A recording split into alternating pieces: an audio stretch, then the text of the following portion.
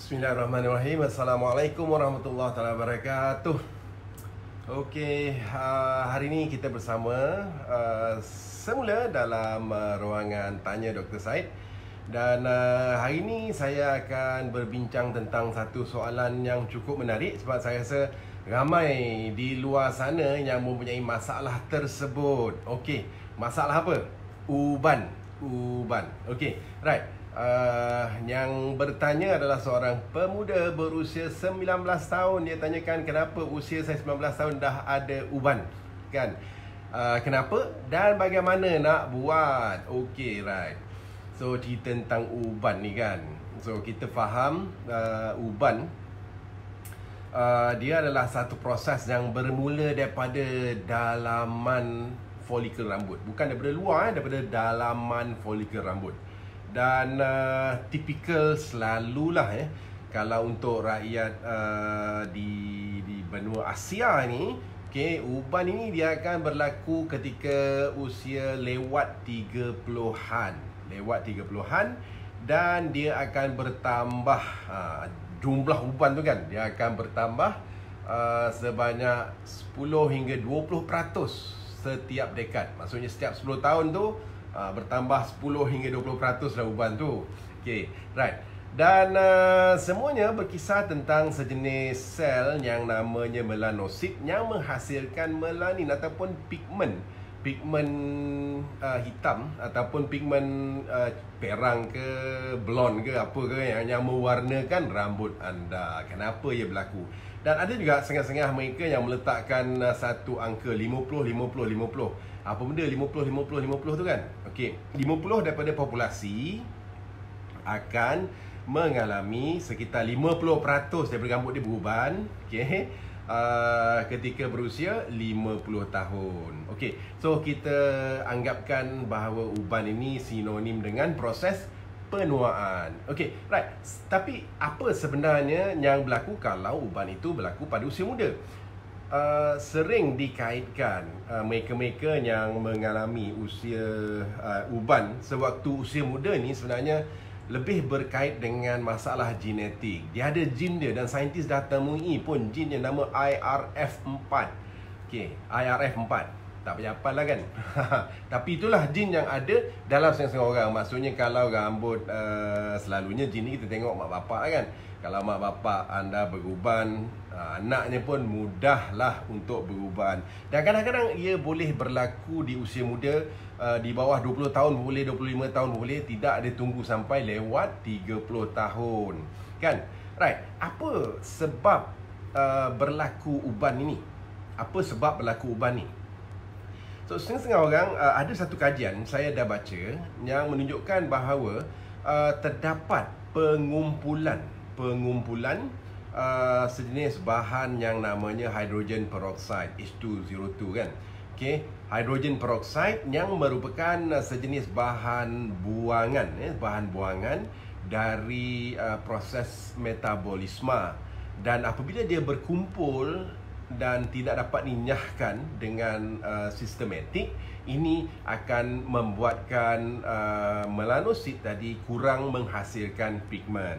Okey, right. Selalunya apabila terhasilnya hydrogen peroxide tadi, ya, jenis yang saya katakan bahan buangan tadi, dia akan dineutralkan, dipecahkan oleh sejenis enzim namanya catalase uh, uh, contohnya catalase contohnya dan uh, problem ni adalah apabila catalase ini semakin enzim tadi yang memecahkan hidrogen peroksida tadi semakin berkurangan dengan usia. So dia dah tak dapat pecahkan so hidrogen peroksida ni akan menyebabkan uh, rambut tu kurang mempunyai melanin ataupun pigmen-pigmen yang selalu mewarnakan rambutnya. Okey, right. Apa sebab-sebab uh, yang boleh menyebabkan masalah uban ini? Right, saya yakin di luar sana ramai yang mempunyai Okay, lelaki tu yang nampak uban ni kan Kalau wanita, ha, mungkin dia pakai tudung tak nampak Tapi di bawah tudung tu, wow, wow, putih Right, so uh, apa apa masalahnya sebenarnya? Okay, macam saya katakan tadi Kalau uban ni berlaku waktu usia muda Mungkin disebabkan oleh masalah apa? Masalah genetik.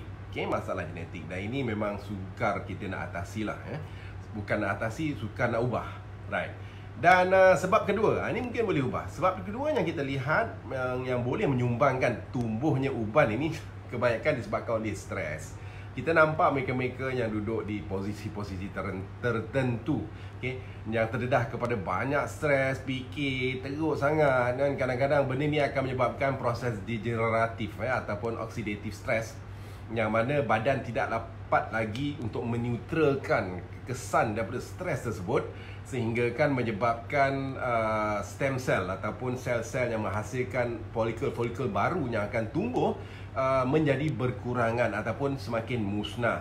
Uh, dan juga uh, kualiti ya kualiti yang ada pada folikel-folikel tersebut pun semakin lama semakin berkurangan. Orang kata berkarat lah ya proses oksidatif ni.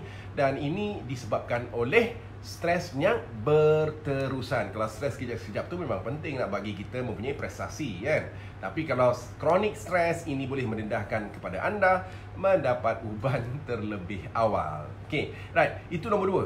Dan nombor tiga, hmm, satu juga yang kita boleh ubah sebenarnya, uh, saya dapati daripada satu majalah, ya, kajian daripada satu majalah uh, Italian Dermatology uh, online journal menunjukkan bahawa uh, pengaruh yang menyebabkan uban ni antara yang penting juga ialah disebabkan oleh merokok. Okey, orang yang merokok ni mempunyai dua setengah kali ganda untuk mengalami uban sebelum usia 30-an. Sebelum usia 30-an. So berapa usia anda? Okey. Right. Dan uh, sebenarnya merokok ni uh, waktu usia muda tu uh, boleh uh, macam itulah kan. Okey, kita stop merokok, insya-Allah uban tu pun tak tumbuh dengan laju. Right. Itu nombor tiga Dan seterusnya uh, kita pergi kepada faktor nutrisi. Apa yang menyebabkan uh, uban? Ada tak ya uh, zat-zat tertentu yang penting yang boleh menyebabkan uban ni tumbuh dengan lebih cepat? Uh, banyak kajian-kajian menunjukkan bahawa vitamin B12 B12 ini sangat-sangat penting uh, untuk menyehatkan proses pigmentasi rambut tu. Tapi sebenarnya uh, ada juga kajian menunjukkan bukan B12 saja, vitamin B6, B7 iaitu biotin, okay, vitamin D, uh, D3 yang aktif vitamin D, okay, yang kita dapat daripada matahari itu dan juga vitamin E. Uh, juga sangat-sangat penting yang mana dia boleh memberi efek kepada pigmentation. So, pastikan anda makan secara seimbang insya-Allah dapat semua vitamin tu. Kuranglah sikit uban tu kan. Ni asyik makan Maggi mi, Maggi mi, Maggi mi, mana ada vitamin dalam tu kan. Perut kenyang tapi badan tak dapat satu benda pun. Okay, right. Kalau faham kat situ, kita pergi faktor seterusnya. Uh, penyakit juga dikaitkan dengan mudahnya tumbuh uban ada dua penyakit utama. Satu penyakit apa? Penyakit autoimun. Penyakit autoimun ni ialah apabila sistem ketahanan tubuh, sistem imun dalam badan kita ni dia menyerang badan kita sendiri. Ha, so apa yang berlaku dia akan serang sel melanosit tadi, sel yang menghasilkan pig, pigment. Hmm, sedap tak? Pigment yang mewarnakan rambut anda. Okay, right. Dan uh, ada lagi satu uh, penyakit yang berkaitan dengan hormon imbalance. Hormon apa? Hormon thyroid. Thyroid ada kat sini. Thyroid ni dekat luar ni kan? Uh, bukan dekat luar kulit. Di bahagian luar. Sebab setengah-setengah orang ingat thyroid tu nak tekak. Bukan. Okay, thyroid ni jenis organ yang ada di bahagian tengkuk ni yang menghasilkan hormon thyroxin. Sama ada anda terlebih hormon thyroxin ataupun terkurang hormon thyroxin ini juga boleh mempengaruhi pigmentasi kepada rambut dan memudahkan untuk mendapat uban.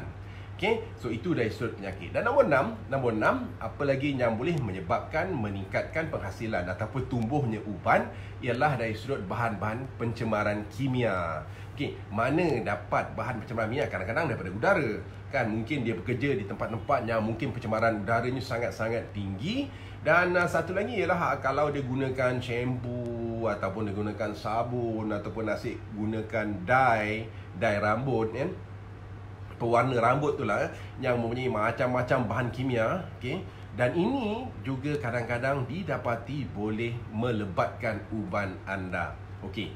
Right. So saya dah bagi enam perkara yang menyebabkan uban. Ingat apa? Genetik, stres, merokok, kurangnya nutrisi terutamanya vitamin B6, B7, B12, vitamin D3 dan vitamin E uh, kemudian penyakit iaitu autoimmune dan juga penyakit apa nama thyroid okey dan juga pencemaran kimia yang menyebabkan uh, rambut anda tercemar hingga menjejaskan penghasilan pigmen di bahagian rambut. Right. So, apa tips? Ha, saya akan kongsikan tips ini dan di bahagian akhir saya akan bagikan dua dua formulasi yang anda boleh buat sendiri kat rumah kalau nak atasi ubat. Okey. Right. So tips yang pertama sudah tentu kalau anda dah berusia uh, kerap-keraplah jumpa doktor. Eh paling kurang setahun sekali tu wajib untuk cek darah. Cek darah dia nak cek apa? Dia cek segala anda punya parameter dalam darah lah. Termasuklah apa? Hormon thyroid tadi. Nak tahu hormon thyroid ni kurang ke lebih ke elok ke? Ha, kalau kurang lebih, dia adalah cara dia nak adjust tu. Ataupun dia boleh cek faktor keradangan yang berlaku dalam badan yang boleh menunjukkan bahawa anda mengalami masalah autoimun. So ini kalau kita uh, boleh kesan awal diatasi dengan awal maksudnya berkuranglah awal uban anda. Okey, right. Nombor dua, gaya hidup. Okey, gaya hidup. Saya dah kata tadi stres boleh meningkatkan penghas tumbuhnya uban. So, uh, pandai-pandailah macam mana anda nak manage stres anda. Okey, sentiasa bersyukur. Bila kita beramal, kita khusyuk, insya-Allah kita serahkan kepada Allah Subhanahu Wa Taala. Okey, insya-Allah stres tu berkurangan. And then apa lagi? Kurang ataupun berhenti merokok. Eh sebab kita tahu merokok ni boleh meningkatkan pasal luban dan seterusnya apa? Makan seimbang supaya nutrisi gizi-gizi yang anda dapat daripada nutrisi yang anda makan itu boleh mengelakkan daripada folikel rambut anda terjejas sehingga menjadikan ia uh, kurang menghasilkan pigmentasi dan menjadi uban. Right, dan seterusnya um, itu dua. Okay. Uh, amalkan pemakanan yang tinggi antioksidan. Uh, maksudnya antioksidan ini dia akan mengatasi uh, masalah stres oksidatif tadi. Okay, dia bantu daripada luaran supaya uh, walaupun anda ada enzim-enzim bersifat antioksidan tertentu seperti katalis, glutathione dalam badan, tapi bila anda makan antioksidan daripada luaran, mungkin anda boleh makan daripada buah-buahan ataupun daripada sayur-sayuran ataupun mungkin daripada suplemen tertentu yang ini insya-Allah dapat membantu untuk mengatasi stres oksidatif ataupun proses pengaratan bahagian folikel tadi supaya dia tidak mudah terjejas uh, dan stem cell ataupun sel yang menggantikan sel-sel rosak tu hidup dengan subur supaya bukan saja anda kurang uban tapi insyaallah ya rambut anda sentiasa sihat.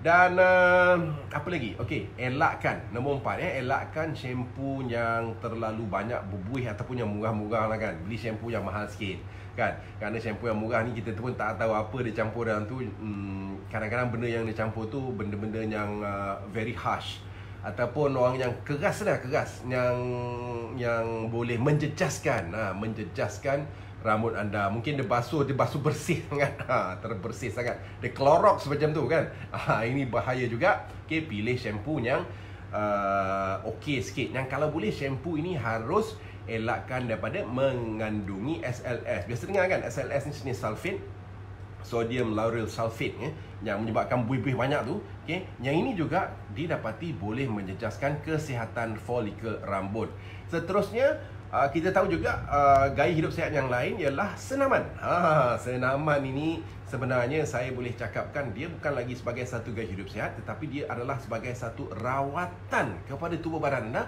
Bukan saja boleh menghindari penyakit juga boleh menghindari uban. Bagaimana? Kerana setiap kali kita senaman setiap kali itulah badan akan menghasilkan dengan lebih banyak eh lebih banyak dua perkara. Satu iaitu antioksidan. Antioksidan yang saya katakan boleh mengatasi masalah-masalah gejala oksidasi uh, yang menyebabkan folikel terjejas. Dan satu lagi dia boleh menggalakkan penghasil lan human growth hormone terutamanya apabila kita bersenam waktu perut kosong dan uh, human growth hormone ni adalah hormon induk yang boleh uh, orang kata hormon anti penuaan yang sedia ada dalam badan anda cuma anda tak gunakan dia sahaja bukan tak guna tapi tak menyebabkan dia terhasil eh kira dalam otak ni dia ada uh, kelenjar pituitary yang memang menghasilkan human growth hormone ni tetapi dia terhasil apabila anda melakukan senaman waktu perut kosong. Ha, itu rahsia dia. Nak muda lakukan perkara tersebut. Tapi jangan terlebih senaman pula, okey? Terlebih senaman pun tidak sihat untuk badan. Right. Dan uh, last kali macam saya saya janji saya akan bagi dua formulasi. Okey, dua formulasi yang anda boleh buat sendiri kat rumah tempik-tempikkan kat rambut nak cegah uban. Okey, dua perkara ni saya, saya bagi dua sebab apa? Yang satu ni berminyak. Setengah-setengah orang tak suka yang berminyak, yang satu lagi yang tak berminyak. Okey, right. Yang pertama saya akan uh, uh, kita gunakan uh, apa bahan asas dia adalah lemon. Uh, lemon ni famous sekarang. Dia bukan untuk kurus saja tapi untuk cegah uban juga. Okey, lemon. Lemon ini uh, kita gunakan dua sudu besar, dua sudu besar dan kita campurkan dengan dua sudu besar minyak kelapa. Dua sudu besar perahan lemon, dua sudu besar minyak kelapa. Campurkan, panaskan beberapa saat. Bukan panaskan beberapa jam. Kering nanti lemon tu. Okey, panaskan beberapa saat supaya dia suam sikit. Dia suam-suam kuku macam tu. Okey, and then anda boleh uh, letakkan di rambut, massage, uh, biarkan selama 30 minit biarkan selama 30 minit dan lakukan dua kali seminggu dua kali seminggu Okay, lemon ni kita tahu dia kaya dengan vitamin B, dia kaya dengan vitamin C untuk antioksidannya, dia kaya dengan fosforus. Okay, yang mana ini akan meng, uh, menyihatkan sel melanosit ataupun sel yang menghasilkan pigmen tadi. Ya, supaya kuranglah dia tu tersedak-sedak sampai meninggal menyebabkan dia dah tak keluarkan dia punya melanin. Okay? Right. So itu formulasi pertama. Ingat, lemon dua sudu besar, dua sudu besar lemon, perahan lemon dua sudu besar apa? Minyak kelapa. Combinekan, uh, adunkan, then masuk panaskan selama beberapa saat. Okay? Waktu dia suam-suam kuku tu, uh, letak pada rambut selama biarkan selama 30 minit uh, lakukan dua kali seminggu. Okey, itu yang berminyak lah. Sebab kalau berminyak ni lepas kita dah sapu tu memang kita kena basuh pakai shampoo lah kan. Uh, sekali lagi ingat, eh shampoo tu elakkan daripada shampoo yang harsh ataupun yang mengandungi sulfate iaitu SLS sodium lauryl sulfate tadi. Okey, right. Uh, dan applykan conditioner eh. Okey. Right. Dan formulasi kedua, formulasi kedua yang anda juga boleh gunakan di rumah apa dia? Okey, anda boleh kombinasikan. Nah, ini bahan mungkin kena cari dekat kedai lah ya. Uh, iaitu tiga sudu amla. Apa benda amla tu dia adalah jenis gooseberry. Okey, ini boleh dicari di kedai Ayurveda yang mana dia ada dalam bentuk serbuk. Okey, tiga sudu besar amla tadi uh, powder eh, dalam bentuk serbuk dicampurkan dengan uh, tiga sudu besar juga bunga raya yang dah dilenyek-lenyek lah Aha, Bunga raya dilenyek. Kita pun tahu kan dulu zaman nenek moyang kita memang selalu orang gunakan bunga raya di pada rambut Untuk nak tumbuhkan rambut, nak elakkan uh, perikala momo okay? Tapi sebenarnya dia juga bagus untuk mencegah ubat. Okay, apa dia? Ingat tiga sudu besar serbuk amla Amla, A-M-L-A eh, Ataupun gooseberry, itu bahasa Inggeris dia. Bahasa Melayu, hmm, saya tak tahu. Okay, right? Dan uh, kita campurkan dengan apa? Uh, Saya dah kata tadi Tiga sudu uh, bunga raya yang dah dilenyek-lenyekkan. Okay kita gaul blend betul-betul blend betul-betul dan seterusnya kita tempek lah di bahagian rambut daripada hujung rambut akar rambut sampailah semua rambut kan? Kerana uh, selama 45 minit 45 minit kita biarkan Dan ini kita lakukan dua kali seminggu. InsyaAllah dia dapat menguatkan folikel rambut anda Bukan saja itu, dia juga, juga dapat membantu untuk meningkatkan penumbuhan rambut Ataupun mengekalkan rambut yang sehat eh? Dia tak mudah gugur okay? Dan satu lagi, dia bersifat conditioning eh? Dia akan uh, merapikan rambut anda Taklah tegak macam tu kena elektrik kan okay? Right, so itu dua formulasi Yang satu, tanpa uh, satu yang pertama tadi saya katakan Yang berminyak, yang satu lagi tanpa minyak eh? Iaitu amla serbuk amla gooseberry campur dengan uh, uh, bunga raya yang dilinikkan dan satu lagi yang pertama tadi saya katakan gunakan lemon dan juga minyak kelapa. Okey, right. So amalkan dua kali seminggu insya-Allah kita boleh lihat kesannya. Di samping tu jalankan gaya hidup sihat kerana kita bukan saja nak cegah uban tapi kita juga nak sihat badan. Baiklah, uh, di samping tips saya nak cerita tentang uban ni selalu saya akan juga ceritakan tips dalam penjagaan badan untuk mengatasi masalah metabolik. Apa dia? Darah tinggi, kolesterol, kencing manis kan? Tapi ini saya khususkan dalam page saya yang satu lagi iaitu hidup bahagia tanpa diabetes. Kalau siapa-siapa daripada anda yang nak tahu lebih info tentang diabetes, tentang kencing manis. Kencing manis itu tahu sangat-sangat uh, merebak sekarang kan. Okay, right. So, typekan hidup bahagia tanpa diabetes dan join join uh, tu dan dalam tu ada lebih daripada saya rasa dekat 90 video yang kita dah hasilkan yang uh, kita cuba cerita tentang bagaimana nak atasi kawal cegah sembuhkan kencing manis anda supaya semua rakyat Malaysia sama-sama hidup bahagia tanpa diabetes. So itu saja daripada saya satu perkongsian yang uh, ringkas pada hari ini tentang uban. Saya doakan anda supaya sentiasa ceria, insya-Allah sihat walafiat dan diberi barokah dari Allah Subhanahu Wa Taala. Sekian wabillahi taufik. Assalamualaikum warahmatullahi wabarakatuh.